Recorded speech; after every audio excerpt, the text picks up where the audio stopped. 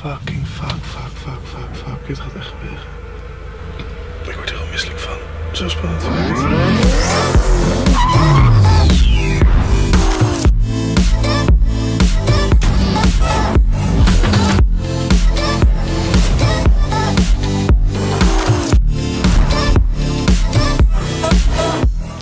kijkertjes, welkom bij een nieuwe aflevering van de Giergasten. Mijn naam is Joost. En mijn naam is Martijn en wij hebben een berichtje binnengekregen van een van onze kijkers. Kijkt u gezellig even mee. Yo, vier gasten. Ik ben Jalil, ik ben een gast en ook gierig en ik wil heel graag naar het Drake-concert. Kunnen jullie dat voor mij regelen? Hopelijk tot ziens. Nou, volgens mij is de vraag wel duidelijk. meneer duidelijk. wil graag naar een Drake-concert en meneer, wij gaan je daar gewoon mee helpen, want we zijn in een goede bui. Ja, het is in de Ziggo Dome en wij hebben bedacht, wat nou als wij een vet decorstuk bouwen voor het concert van Drake. Daar kunnen wij dan in gaan zitten en dan leveren we die een dag van tevoren af voordat het concert begint. Moeten we wel erin overnachten, maar als we die nacht doorkomen, kunnen we eruit komen en hebben we een gratis concert. Ja, en wie weet loop je er wel uit en kom je Drake tegen. Nou, hoe vet is dat? Dat zou echt legend zijn. Dat zou leven zijn. Dan heb je een hele vette video. Maar goed, voordat we die doos gaan bouwen, laten we eerst even kijken hoe goed de security is bij de Ziggo Dome bij de afleverplek. Laat ik dat even gaan testen.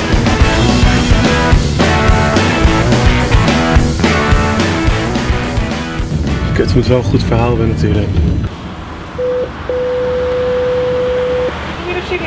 Goedemiddag, ik heb een sollicitatie voor, eh, voor, ja, voor barmedewerker. Kan ik hem hier even parkeren? Ja, kom verder. Yo, hier heb je eh, de production entrance.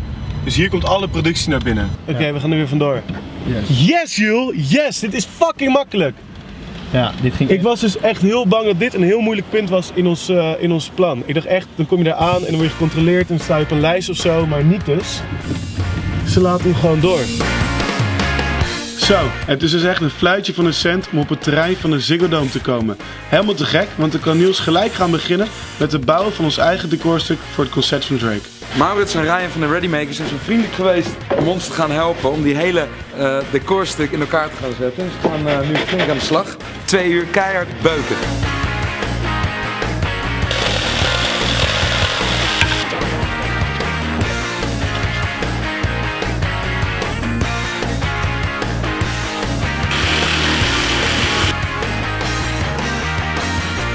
Is top. Jezus, ik heb een nieuwe roeping gevonden, jongens. Je kan inhuren op alle schilderpartijen.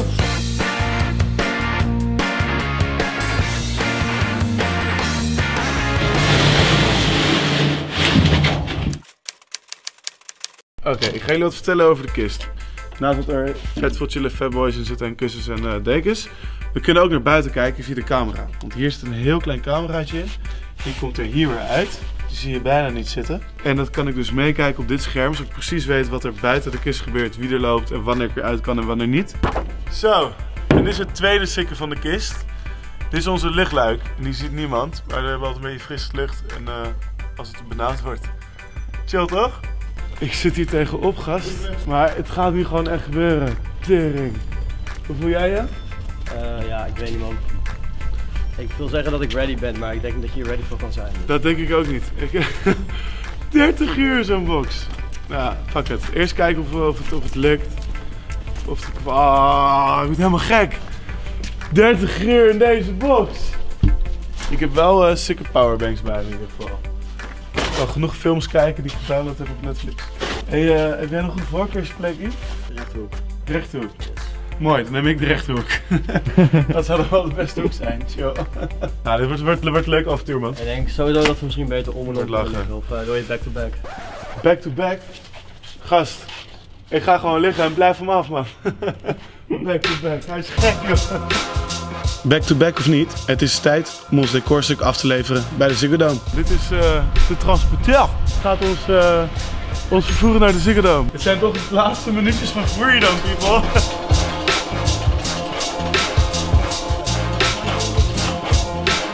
Ghetto stijl dit hoor.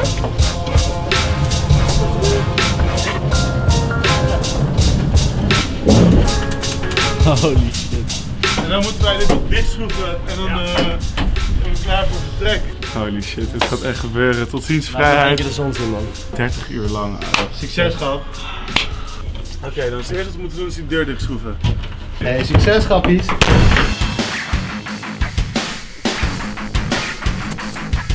Oké, nou we zijn onderweg naar de Ziekendoom. Eh, Joost en de Twitteraar zitten achter. Nou, nu is de kunst om Joost daar gewoon af te leveren en om zo snel mogelijk te boeken. En eh, hopen dat we niet al te veel gezeik gaan krijgen. We zijn nu eh, vijf minuten in de kist.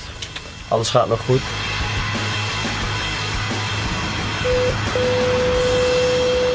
Goeiedag. We komen een decorstuk afleveren. Het is een nalevering. Ja, top. Dankjewel. Oké, eerste poortje zijn we door. Oké, het gebeurt nu wel echt. Hoe spannend vind je het? Oh, het duurt meer af als de microfoon wat sterker. Moet je mijn hart horen kloppen, man.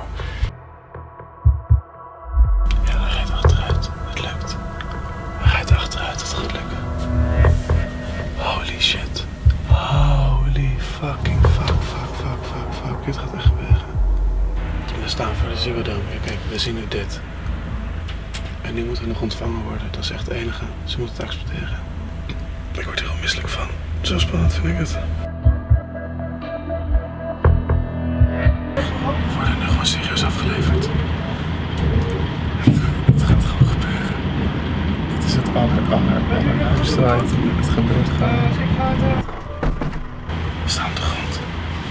We staan. En nu gaat die vrachtwagen weg. En is iedereen weg. En zijn wij hier met z'n allen. Met z'n allen met z'n tweeën. Midden in de Zuggerdome. En dat is omdat... Ik weet niet wat er nu allemaal gebeurt. Ik weet niet wat ze zeggen. Ik weet niet wat, er, wat, wat ze doen. Ik weet niet wat ze met de kist gaan doen. Dan gaan ze de kist openmaken. Zetten ze gewoon ergens in een hoekje. En zien ze het allemaal wel. Wat gaan ze doen? Ik wil dat er gewoon staan. Dat deze hele heisa voorbij is. Dat we gewoon lekker naar de volgende uurtjes toe kunnen. Waar de doos rustig staat en er niks gebeurt. Dat is wat ik wil. Ze zijn die kist nu aan het checken. Iedereen is weg. Ze zitten nu mee op die kist te tikken en aan het kijken wat ze mee moeten doen. Ik weet het persoonlijk niet, maar we gaan het wel merken.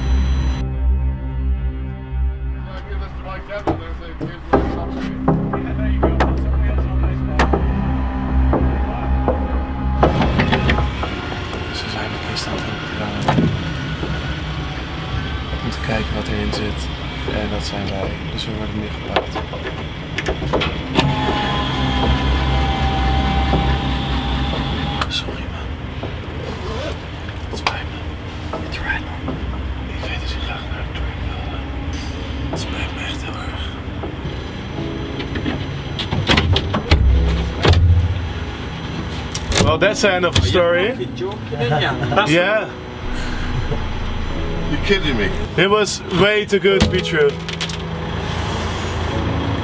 Hey, how are you doing? Good. So where do you guys come from? Well, we're from Amsterdam actually, and uh, we were really excited for the Drake concert tomorrow at seven at ni- uh, yeah, seven a.m. I have seen it all. They've seen it all. ja, de grap is dat ze, ik zie aan, aan hun kop dat ze het mooi vinden. Oh, wat baal ik hiervan zeg. Drie maanden plan. Gone. Zullen we maar uitgaan? Ja, ik weet het wel. man. Ja. Yeah, guys, get out. You don't need to stay in there. Come on, guys. Yeah, right. Fair play. Well, I would, I would, yeah, yeah, fair play, fair play, fair play. You don't What's your name? I'm Chris. Joost. Hello. Paul. Joost. Hey Paul. That's the first I've seen Do you. you, do you nice have one, guys. tickets for the gig? No. I'm Okay. going to make sure you get tickets. Off camera. Okay. I want to make sure you guys get tickets. Drake concert. Really? Dat zal wel. Ja, en dit is het moment waarop de camera's uitgingen. Chris wilde liever niet op beeld, maar had ons wel twee kaarten beloofd. Nou, Jalil natuurlijk in totale extase. Hebben we dus helaas niet kunnen filmen. Maar zo enthousiast als de Amerikanen konden zijn, zo enthousiast is Chris ook. En wat deed hij nou? Hij vond zo'n leuk idee. Hij zei, weet je wat, ik ga de manager bellen van Drake. Want Drake moet er ook vanaf weten. Nou, vijf minuten later was de manager van Drake er ook. En helaas vond hij het allemaal net iets minder grappig. We kregen een flinke preek over terrorisme. Terwijl we die intenties natuurlijk niet hadden. Het is gewoon een leuke grap. En eh, we mochten vijvertjes in de bak overnachten. Wegens eh huisvredebreuk of zo. Echt een sukkel. Anyway, jij verpest de droom van, eh, van Jalil, manager van Drake. En ik kan het niet over mijn hart krijgen. Dus ik ga er wat aan doen. Yo Jalil, we zijn nu twee dagen verder sinds wij locked up waren hier zo om de hoek bij de Bijlmer gevangenis. We zijn wel heel goed behandeld door de politie, dus dankjewel daarvoor. We zijn ook goed behandeld door de Ziggo Dome en door de hele crew van Drake. Behalve de manager. Die vond het niet zo grappig. Die heeft jouw droom, want jij wilt heel graag het concert van Drake verpest. En ja, ik kan dat niet eigenlijk over mijn hart laten gaan. En als met een gierige streek lukt, dan ga ik mijn eigen portemonnee tegen aansmijten. Dus eh, ik heb twee kaartjes voor je gefixt voor het concert van Drake, man. Alsjeblieft, volgens mij moet je maatje eraan. Wil je nog wat zeggen over deze hele ervaring? Ja, ten eerste bedankt naar Gier Graag gedaan. Fucking leuk. Ik had het niet anders gewild hoe het is gelopen. En eh ja, chill even veranderd man. Je hebt het traantje gezet. Hij heeft het traantje gezet. Wat een gast ben je ook. Ben je een mooi vent. In ieder geval, vind je het nou een leuke video? Ik vond namelijk een hele vette ervaring. Doe een duimpje omhoog. Ik wil trouwens die gasten van Readymakers en van Winning Wheels heel erg bedanken voor het vervoeren van de kist en voor het bouwen van de kist. Heeft ons vet veel geld bespaard.